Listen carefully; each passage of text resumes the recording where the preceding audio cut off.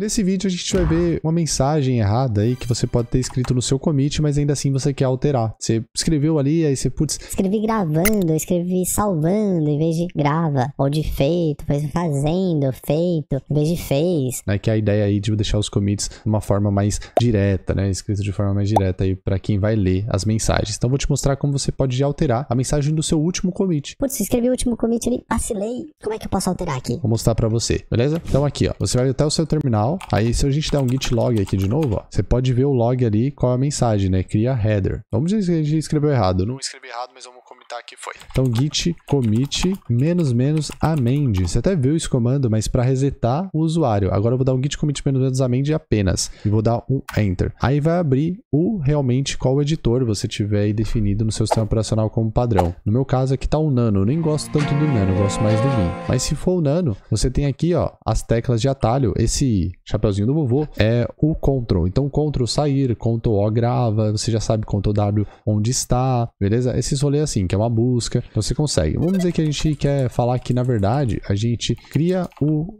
cabeçalho.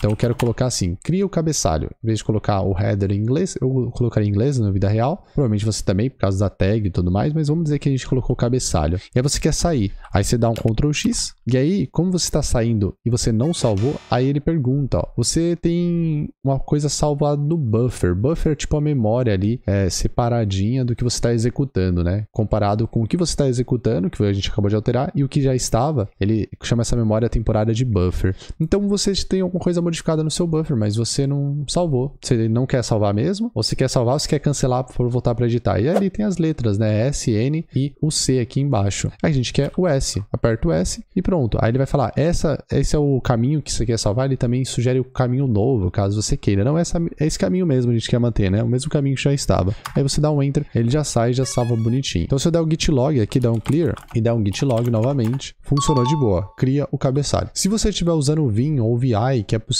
o sistema operacional está usando isso, você vai fazer um pouco diferente. Na hora que você entrar no arquivo, né, eu vou mostrar aqui, ó, entrando no arquivo comum nosso, ó, e você alterar alguma coisa, por exemplo, vou alterar meu nome aqui, ó, colocar Marco Antônio, beleza? Vou, ah, Desculpa, já nem expliquei, né? Deixa eu deixar o Marco Bruno aqui para explicar para você na felicidade. Se você quiser editar, primeira coisa, né? Você vai ter que apertar a tecla I para editar, de inserção, de insert, na verdade. Aí aqui embaixo aparece o modo que você está aqui no caso, como está o sistema operacional em português, está escrito inserção. Se você tiver com inglês, vai estar escrito insert. Você apaga o que você quer, muda a mensagem do commit, aqui no caso estou mudando a mensagem de um arquivo só para te mostrar como seria pelo Vim. E aí você colocaria assim, ah, Marco Antônio, beleza? Antônio. Aí eu vou dar um ESC, vou dar para sair, né? Você dá o ESC ali até não aparecer nada aqui embaixo, você vai apertar dois pontos e Q. Quando você apertar o Q e tentar dar o Enter, ó, ele vai falar assim, ó, se tem uma alteração e você não gravou essa alteração. Se você quer sair sem gravar essa alteração, você tem que dar um ESC, dois pontos, Q, exclamação. Mas no nosso caso não é isso. Você quer salvar e sair, beleza? Aí você vai dar um dois pontos, você vai dar um ESC para sair de todos os estados, dois pontos X. O X salva e sai. Aí você vai dar um Enter, ele vai salvar e vai sair. Se eu der um Vim aqui, ó, index novamente, ó, deixa eu dar, se você apertar a teclinha para cima, ele no terminal, ele pega a lista de comandos que você já executou. No caso, a gente quer o último para cima e Enter. Aí eu vou lá de novo, vou mudar de novo, tecla I, a gente muda para Bruno aqui, top. Vou apertar o ESC, dois pontos X para salvar e sair, beleza? Já funcionou legal, tá vendo? Então é assim, é assim que você faz usando o Vim. Se por acaso quer dentro do Vim, pelo menos você sabe sair do Vim. Se você cair naquela mensagem vermelha, se lembra lá, né? Só para você não sofrer aí um bullying. Se você cair na mensagem vermelha ali, ó, deixa eu mudar alguma coisa aqui. Deixa eu colocar um espacinho aqui maroto. Quando eu der o Q, ele não deixa sair. Eu quero sair sem salvar. Fiz errado, nada a ver. É um Q exclamação, beleza? Aí você aperta o ESC sempre. O ESC até não aparecer nenhuma mensagem, né? A gente tem o hábito de apertar cinco vezes. Sem necessidade nenhuma.